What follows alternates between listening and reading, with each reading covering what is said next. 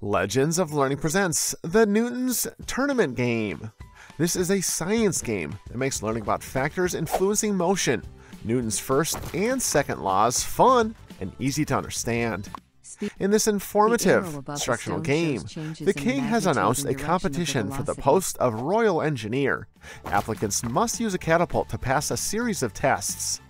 The player will shoot targets using a catapult, and you must study the influence of Newton's laws. From there, you will solve problems related to these laws and improve and upgrade the catapult. Help the king destroy targets by using his catapult. Use the mouse button or spacebar to select the right amount of force and angle for the catapult to launch. Hit your targets to progress to the next level.